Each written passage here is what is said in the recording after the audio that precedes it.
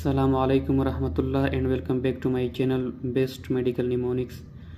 Today I will discuss in easy and efficient way how to memorize the signs and symptoms of chronic lead poisoning. Chronic lead poisoning is also called plumbism. We know that lead is a heavy metal. When lead is ingested in fatal dose, then it is very harmful and it will lead to the following signs and symptoms. Thus, these signs and symptoms are easily remembered by me by following alphabets, different alphabets of English like A, B, C, D, E, F, G, H, I, G, I. These alphabets will help you to memorize these signs and symptoms. Starting with A, chronic lead poisoning causes anemia and specifically hypochromic microcytic anemia there is anorexia. There is also arthralgia which means giant pain. There is abortion. And there is atrophy or optic atrophy. B stands for basophilic stippling which means that RBCs are with punctate basophilia. This is because of the uh, altered porphyrin metabolism.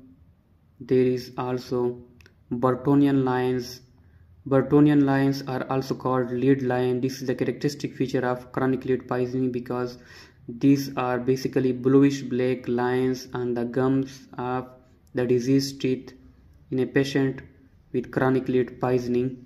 This is situated in the subepithelium. The C stands for colic. There is a characteristic lead colic or lead pain in case of chronic lead poisoning the characteristic feature of this pain is that this pain is basically spasmodic in nature. It is intermittent and this pain is especially at night and uh, this pain is relieved by pressure. There is also associated constipation and coproporphyrin excess and uh, there is also cerebral edema now there are also two characteristic drops associated with chronic lead poisoning. The one is wrist drop and the other is foot drop. These are due to the degeneration of nerves and muscle atrophy. The E stands for encephalopathy which is called lead encephalopathy characteristic feature uh, characterized by headache, insomnia, hallucinations, ataxia and insanity there is also emaciation. F stands for facial pallor, foul smell from mouth, Fanconi syndrome. G stands for gonadal dysfunction and gout-like picture.